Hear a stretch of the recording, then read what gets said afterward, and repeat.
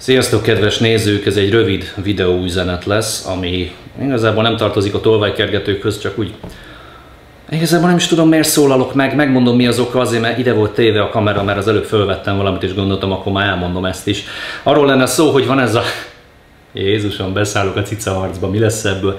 Tehát van ez a Kimi Tube nevű versenyke, ami pontosan olyan, mint, mint, mint mondjuk néhány éve volt egy ilyen, hogy Golden Blog, amiben ugye a legjobb magyar bloggerek versenyeztek, csak hát ugye azok nem indulhattak el, akiket tényleg olvasott is valaki, mert hát ugye azok nem indulhattak, na pontosan ugyanígy működget ez a Kimi Tube, és itt az lenne a lényeg, hogy a zsűriben üldögél egy Noémi nevű fiatal lányka, aki nagyon-nagyon tehetséges, már olvashattunk róla az Indexen is, mert hát ő fotóz, meg rajzol pénzbe bizonyám, és ez, ez már úgy, úgy elég ahhoz, hogy ő egy ilyen országos versenyzsűrizzen, és szegénykém egy eltévedett pillanatában azt hitte, hogy ő tényleg azért van ott, mert ő akkora tehetség, és amikor Dancsó Peti, aki hozzáteszem nem azért csinálom ezt a videót, hogy őt megvédjen, nem kell őt védeni, tehát a Dancsó Peti csinált egy entrit a versenyre, amin a belemet kiröhögtem, amiben gyakorlatilag így elküldi a sunyiba az egész társaságot. Na most ezen a Noémika így fölkapta a vizet, és neki állt egy hasonló videóüzenetbe kiosztani a Dancsót. Gyerekek, hát Szóval, kedves Noémi, ezt neked csinálom ezt a videót. Azért csinálom neked, hogy egyrészt megint fintoroghassál, hogy Úristen, szemét szélsőséges, hozzám szólt Úristen, nem számít a véleményem, ez szélsőséges, valami ilyesmit fogsz mondani.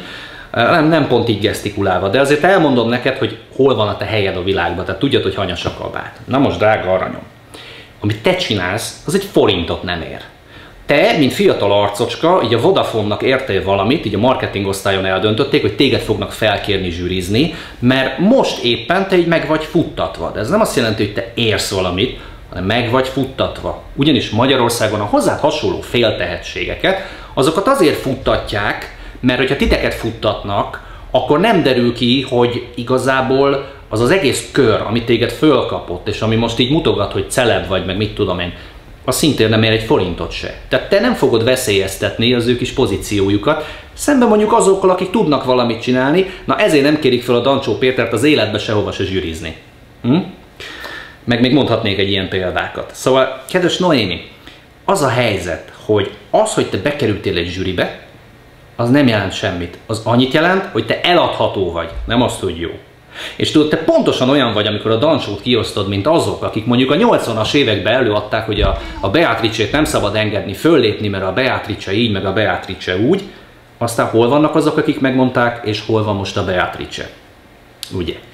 Tehát körülbelül így fogsz te is eltűnni, mondhatnám úgy is, hogy te még sehol nem voltál, mikor a Dancsó már valaki volt, és te sehol nem leszel, amikor a Dancsó még lesz valaki, és még vagyunk így egy páran, te egyike vagy azoknak, akiket, mint például az Oravec Nóra, meg a Fejős Éva, meg ezek, ezeket, akiket így futtatnak, mert így tök jól néznek ki, és egy ilyen, ilyen virtuális valóságban ti egész nagy művészek lehettek, nevezzük ezt az egészet mondjuk gesztipéterizmusnak.